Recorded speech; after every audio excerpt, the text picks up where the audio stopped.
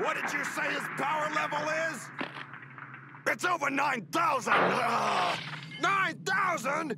There's no way that can be right! It Hi, everybody, and welcome back to the Metatailor YouTube channel. Today, we're jumping into our Get Dressed With Me series. We've seen Link from Legend of Zelda, Akuma from Street Fighter, Kakashi from Naruto, and an Adeptus Sororitas from Warhammer 40k. Now, for these next two videos we're going to be doing, they're a little bit special. We asked you, the audience, to help us pick. We ran a poll on our Discord channel, and you picked Vegeta from Dragon Ball Z and the Plague Doctor from Darkest Dungeon. So these assets I pulled from DeviantArt and Sketchfab from different artists to kind of get this to work together.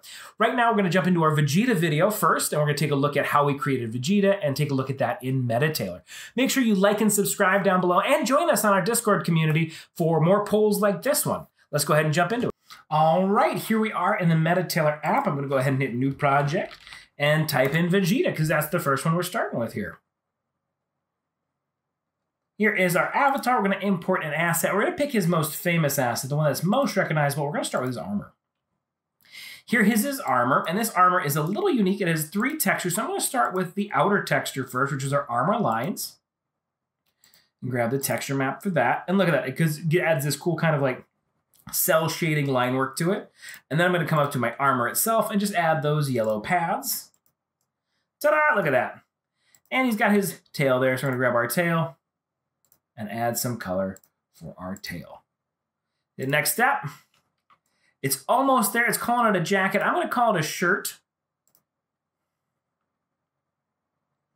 And let's just scale it. Let's scale this up a little bit.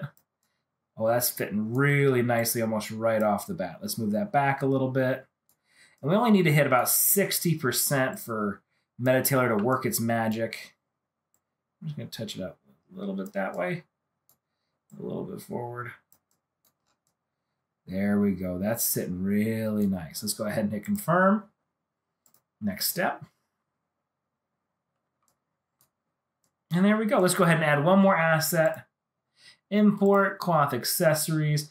There's his armor. Let's go ahead and start with his pants. These already have the textures applied to them. They're working well. Let's go ahead and hit next step. Call these ones our pants. Next step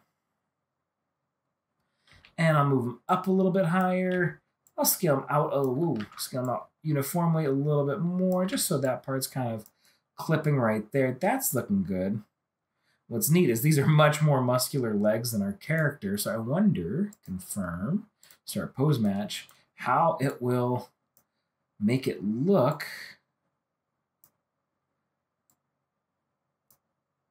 Ooh, ooh, Vegeta. There we go, regular Vegeta once we get that in there. And once again, it just needs about 60% match. Give him some pretty big feet. Not a big deal if they're out that way. That's not going to really... You know, it might affect one thing, so I'm pull them back forward. I'm thinking it might twist the ankle. I don't even want to risk it. I want to test it. Confirm. Next step.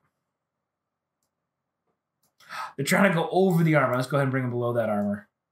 They're sitting and making him look like he has really beefy legs. Let's go ahead and hit that with a global shrink wrap. All right, still gives him that muscle definition, peeking out the back there. Um, so let's go back to our tools, shrink wrap, a little bit less. There we go. That's looking even a little bit less. I'm trying to take that out. There we go. That's looking really good. All right, I'm going to go ahead and import the rest of this and we can take a look at the finished product. And there we have it, a completed Vegeta character. You can see we got our scouter, our bodysuit, our boots, our armor, our tail, and our hair. All brought in in the same way. That's it for our Vegeta video. Thank you so much for watching. And this truly shows that Metatailor is the Kitbash app for avatar creation. I pulled these assets off of Sketchfab, DeviantArt, all over the web to bring this Vegeta outfit together. I got them ready in Maya, brought them into Metatailor, and they work on any avatar. So once again, make sure you like and subscribe down below to see more videos like this one, or join our Discord community and show us your cool creations, or join in for future polls like this one and show us what you want to see. That's it for today. Thank you all so much for watching, and I'll see you next time. Whoa! How did he do that?